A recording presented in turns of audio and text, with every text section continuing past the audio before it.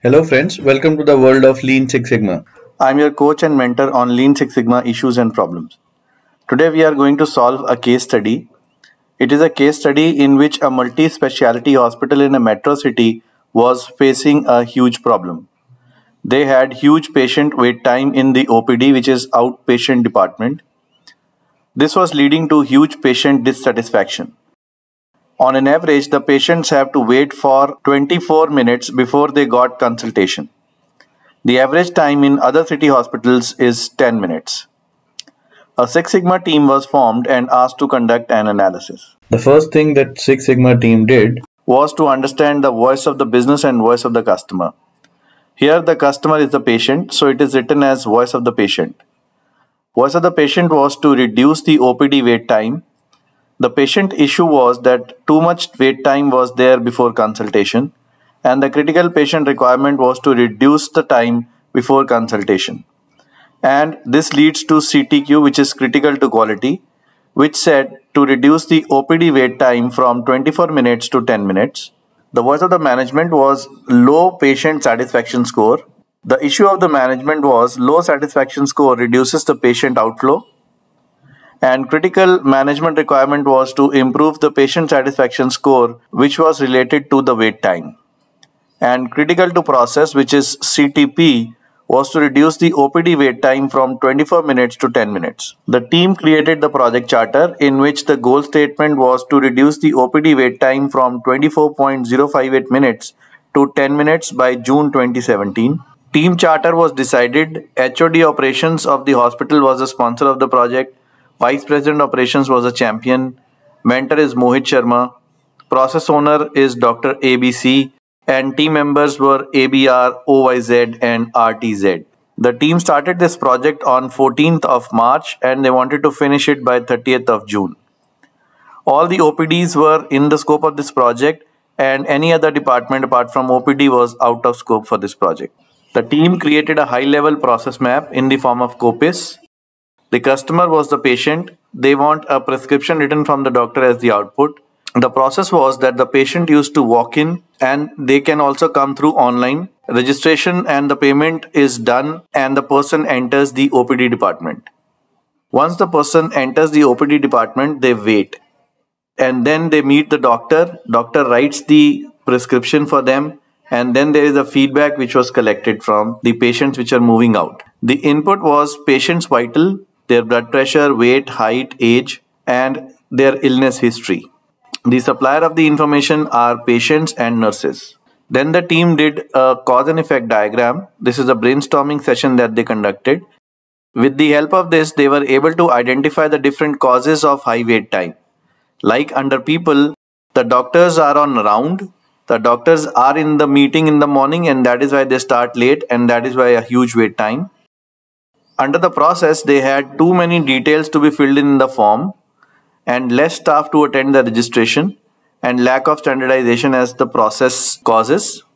Under machine, they had high machine uptime and they had a website on which the registration was happening. It was taking a high time. Under Mother Nature, some of the causes were that the day of the week, Saturdays and Sundays are high rush days, and waiting room is far away from the registration counter, are some of the causes under Mother Nature. Procedure Billing from card is a time consuming process, and afternoon OPD is not standardized for some of the sub causes under procedure. After the brainstorming session, they identified the potential X's. Some of them they could collect data on, so they created a data collection plan. The project Y was continuous. Patient satisfaction survey score was again a continuous X. Doctors unavailability is a discrete X. Doctors are available or not available support staff is available or not available. Less counters for registration is a discrete x. Number of counters open like 1 2 3 4 5 6 morning opd or afternoon opd is again a discrete x. Days of the week is again a discrete x. And week of the month is again a discrete x. So after this a data has been collected. And i will take you to minitab to show you how these x's were tested with the y First thing the team wanted to test was that whether the patient satisfaction is a derivative of wait time or not. Whether patient satisfaction is impacted by the wait that they have to do before consultation. So in column C1, I have OPD wait time and in column C2 I have patient satisfaction survey score. My Y is continuous which is OPD wait time and satisfaction survey score is continuous. So I will do a regression analysis here. I will go to stat, regression and fitted line plot. Under response Y I will enter OPD wait time and under predictor variable X I will enter patient satisfaction score. And I'll click OK. So if you look at this graph, R square adjusted value is 90.4% which is greater than 65% indicates that patient satisfaction is a highly significant contributor factor of OPD wait time. Like for example, if my OPD wait time is high, my patient satisfaction goes down. You can see this line is a negatively trending line. I get a high patient satisfaction score of 5 when my wait time is around 10 or less. And when my wait time is between 40 to 50 minutes, I only get a survey satisfaction score of 2. Satisfaction survey is a contributing factor of OPD wait time. We have to do something to reduce this OPD wait time. Otherwise, patient satisfaction will be impacted. To proceed further and to analyze all these x's with y, the hypothesis testing, we need to check whether our y is normally distributed or non-normally distributed. So to check the normality, we will go to stat, basic statistics and graphical summary. Under variables, we will enter OPD wait time and we will click OK. P-value of 0.612 indicates that it is a normal data and the mean is 24.058. If you look at the standard deviation, it is again very huge which is 9.979 which is approximately 10 so that could also be one of the problems Next thing that we will do is the hypothesis testing, with the help of which we will identify whether these potential x's are significant to project y or not. Project y is continuous and normal and the first x is discrete and has two or more than two variables. So we will perform one-way ANOVA test. We will go to stat ANOVA one-way under response, we will select OPD wait time and under factor we will select doctors available on the seat and click OK. P-value of 0.000 suggests that it is a significant X. So doctor should be available then the wait time is less. If you look at this graph, doctors available on the seat has lesser wait time which is 8.99 which is way less than when they are not available on the seat which is 26.857 which means doctors should be available on their seat whenever the OPD time starts. The next X is support staff. So it is again a discrete X with two variables less or appropriate support staff. So for that we will again do ANOVA test. For that we will go to stat ANOVA one way under response variable, OPD wait time is there. Under factor, we will enter support staff and we will click OK. P-value of 0.000 suggests that support staff is also a significant X. And when we have appropriate staff, we have mean of 13.151 and when we have less staff we have mean of 20.732 so which means this is also a significant x and support staff should be appropriate. So the next x that we are going to test is the number of counters open for registration. We'll go to stat ANOVA one way ANOVA. In response we will have OPD wait time. And in factor we will have counter open for registration. And we will click OK if you look at the p-value, it is 0.00. It also indicates that this x is a significant x. And when we look at the counters which are open for registration 1 to 6, when we have 5 or 6 counters open for registration, we only take 9 to 10 minutes of wait time before they can see the doctor.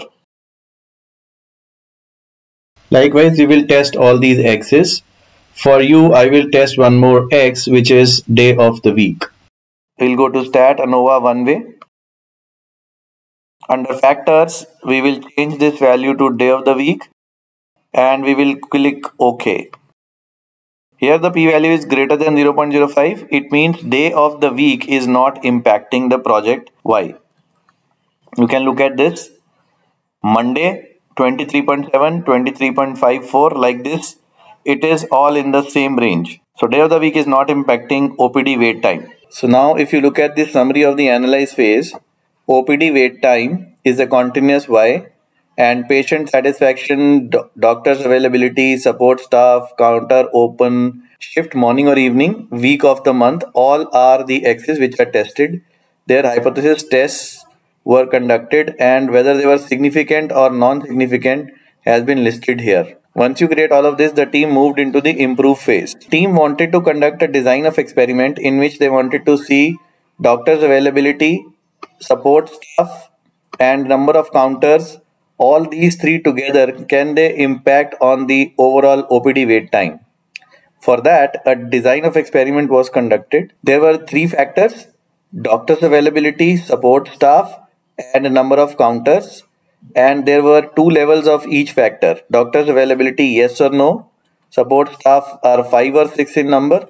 And number of counters open are 5 and 6 in number. They wanted to identify minimum opd wait time condition.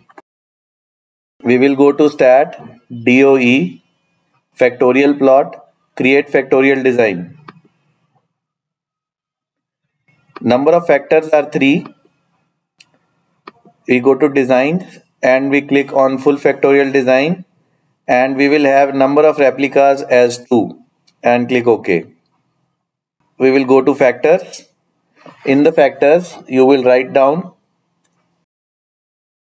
doctor's availability.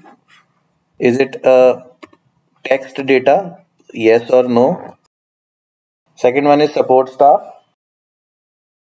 5 or 6 support staff. The third one is number of counters. 5 or 6. We click OK and OK. So now 16 runs are created. Doctor is available, staff support staff is 6 and number of counters are 6. We have to take two readings for each of these runs. Doctor available is yes, support staff is 6 and number of counters are 6. And then we have to see what is the OPD wait time. Suppose this is 9 minutes. So this is 9.1 minutes. No two readings would be same if we have set up the same parameters also. 10 minutes, 10 minutes. So this is what the team has to do. They have to physically go and take these readings.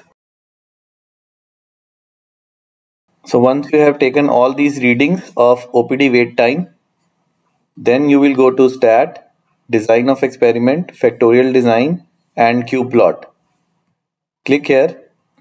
In the response variable, select OPD wait time and click OK. If you look at this particular plot and you see the lowest wait time is 9.05 minutes the condition for 9.05 minute is the support staff is 6, the doctor's availability is yes, and number of counters are 6. So when you have 6 support staff, doctor is available on time and number of counters are 6, you have lower or lowest OPD wait time the Six Sigma team identified this particular condition and they set up the process operations like that. Post implementation of this solution, the team again collected the data of OPD wait time and before and after project data was compared. So we have OPD wait time before project and OPD wait time after project in column C1 and C2. We will first stack this data. We will go to data, stack, columns. OPD wait time and OPD wait time after project selected together. Columns of current worksheet we will have them in C3 and C4 and we will click OK. So the data has been stacked. This is wait time data together one after the other. So first we have OPD wait time before the project and then below that we have OPD wait time after the project and this is the status. So team created a control chart which is IMR chart. Go to stat, control chart, individual charts and IMR chart. Under variable they will have wait time and in IMR options click on stages and then enter status here and click OK and OK. So this is the control chart which has been created. The overall wait time has been reduced from 24 minutes to 9.03 minutes. And if you see the variation has also reduced. The moving range, the width of this particular graph, the control limit was very huge here. It has reduced to this much, which is between 0 to 3.51. Earlier it was between 0 to 37.03. The upper control limit was at 37.03, which has now moved to 3.51. A huge reduction in the variation also. So with that, the team concluded the project and I hope you would have understood how this particular case study was done and how you can also do analysis, hypothesis testing, control charts and everything in your healthcare data. So if you really like this video, please give it a thumbs up and share this video with your friends. I will see you in my next upcoming video pretty soon. Till then, take care. Bye bye.